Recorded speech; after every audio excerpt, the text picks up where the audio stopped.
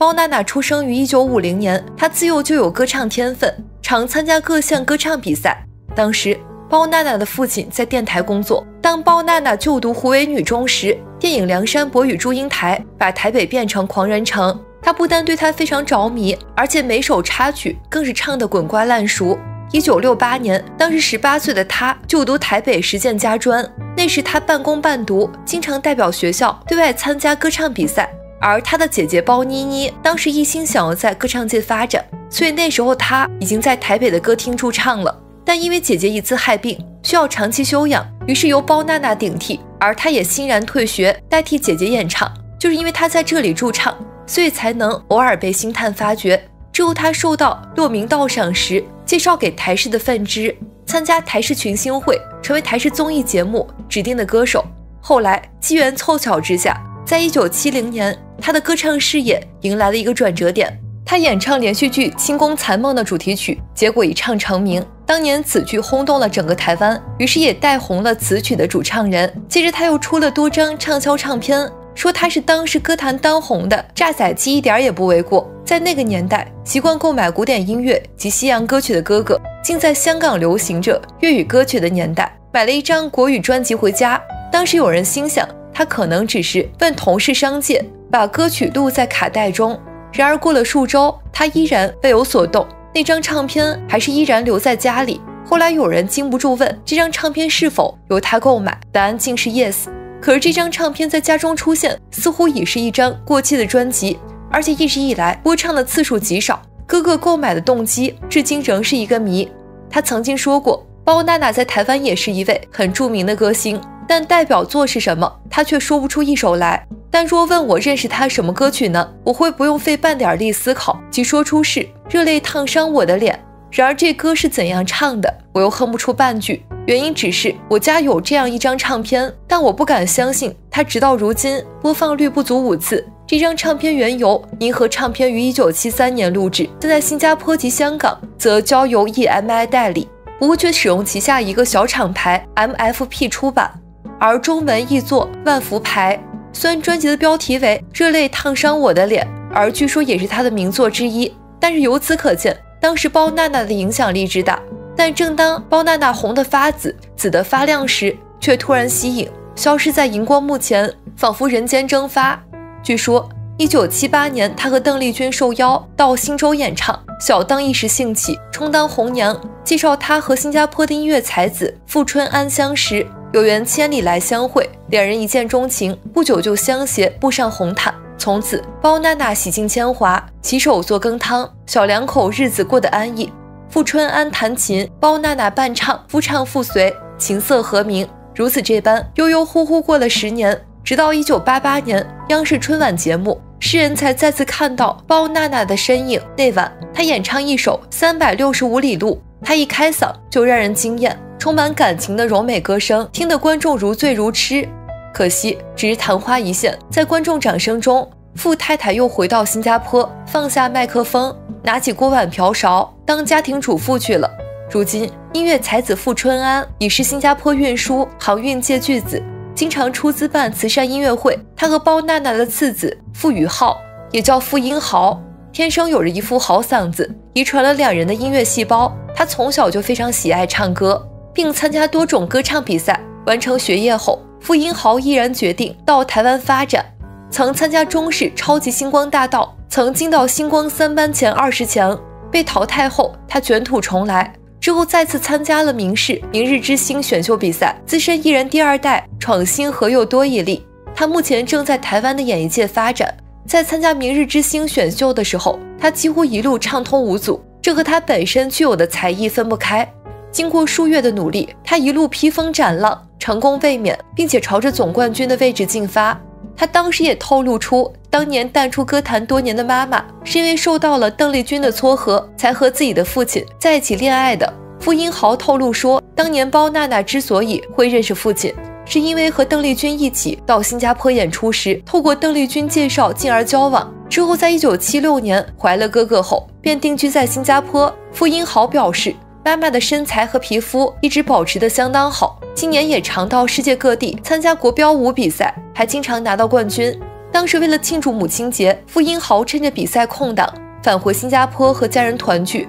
他笑说不会特别准备礼物，但会送花并请妈妈吃饭。傅英豪表示，父母其实一直不赞成他进入演艺圈。他说妈妈担心这条路辛苦，希望我别走，所以我用离家出走的方式回来妈妈的故乡出发。直到这次他拿到好成绩，包娜娜终于给予肯定和鼓励，并表示他未来。若能拿到总冠军，他愿意重回台湾与许久不见的观众见面。其实，在一开始的时候，傅英豪并不知道他的母亲是一个很红的歌星，直到他十三岁念国中的时候，他才知道这件事情。而他也曾经练过田径三铁项目，拥有帅气的外表与健硕的身材。但毕竟体内留着妈妈包娜娜的歌唱细胞，从小就热爱唱歌。就读美国南加州大学时，更辅修音乐歌舞剧系。他觉得妈妈包娜娜歌声除了好听，还很有爆发力。当被问到自己遗传几成的时候，傅宇浩谦虚说：“大概只有一成吧。”傅宇浩来台发展，获音乐人陈曦赏识签下，并为他制作首张专辑《好的爱》，夺拍傅宇浩自创歌曲《好的爱》MV，请来任容萱担任女主角，剧中饰演相恋情侣，无奈他患不治之症，两人被迫分离。他的情感内心戏份吃重，却不见青涩。任容萱更赞傅宇浩阳光又像韩国人，路线很广，吃得开。当被问到妈妈包娜娜贵为前辈，是否有耳提面命什么？傅宇浩说：“妈妈要我努力、认真和谦虚，很希望有天妈妈能以我为荣，来台湾帮我打气。”当经纪人陈曦夸赞他在音乐路上很努力，傅宇浩还百感交集，感动到流泪。包娜娜擅长抒情歌曲，从出道到退隐，才短短十年间就留下好歌无数。如谁真心爱过我？月光像情网，热泪烫伤了我的脸。不要离开我。临走的誓言，令大家印象最深刻的是《长发为君剪》这首歌，曾被许多理发厅和美容院当做招牌歌。而当他退出娱乐圈之后，他便很少会出现在大家的面前，他的现状也很少被曝光过。所以，他几乎一直过着远离镜头的生活。他也不希望被别人打扰。而且随着年龄的增长，他也逐渐放弃了自己的音乐事业，没有再发行过新的歌曲。不过他对音乐的热爱并未改变。但是也正是因为这个原因，所以现在很多的年轻人都不认识他，除了看着他走过来的那群人之外，很少再有人知道他当时是台湾的著名歌手，是远东十大巨星之一。当年在东南亚地区有着广泛的影响力，很少再有人知道他当时凭借一首《三百六十五里路》火遍大江南北。正式打开大陆市场。以前的他是真的红，以前出版的专辑都会有超过一半的歌曲被本地艺人选唱灌录成专辑。黄小军就选唱了他很多歌曲，无论是快歌或是慢节拍的歌曲，黄小军惯唱的不亦乐乎。像轻快的《谁真心爱过我》，一二三四五，月光像情网等等。包娜娜的抒情歌曲更棒，像《证明我多爱你》，当做我没有爱过我，寂寞伴柔情。长发为君剪，临走的誓言等，作曲人和填词人都为他写了很多好歌。黄小军在选包娜娜的歌曲时，很特别以自己的歌路为准。黄小军的表现也令人满意。但是在二零一零年，很久没有露面的他出席驻新加坡代表处举办的国庆酒会，明星风范与出色的气质不减。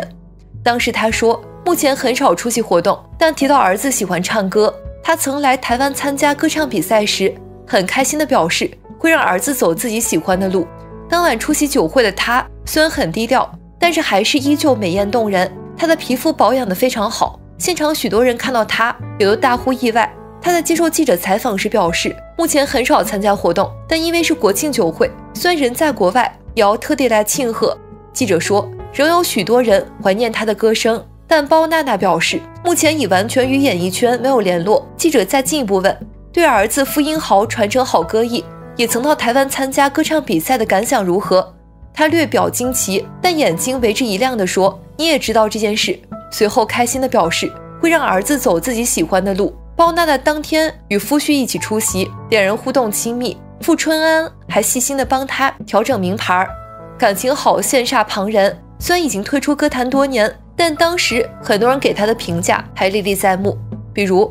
当时包娜娜翻唱了凤飞飞的一首红歌，他们称赞她的歌声征服了东土西域、大江南北。现如今，包娜娜对自己的生活也算是比较满意的。儿子继承了自己的优点，自己和丈夫的感情很好，再加上衣食无忧，她还有什么是不满足的呢？虽然当初退出歌坛可能有些后悔，但是在幸福面前，这些都不值得挂在嘴上一直说。希望他的生活一直都好。今天的分享就到这里了，大家有什么看法呢？欢迎在评论区留言讨论。我们下期再见。